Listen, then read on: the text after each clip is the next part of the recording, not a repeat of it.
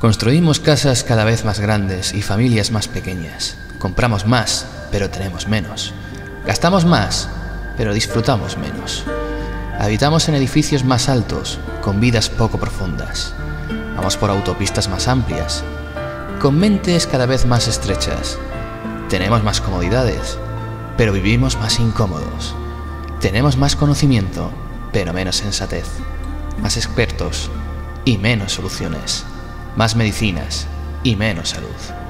Son tiempos de comida rápida y de digestión lenta, de casas fantásticas con hogares rotos, de enojarnos enseguida, pero de perdonar lentamente, de salir muy temprano y llegar siempre tarde.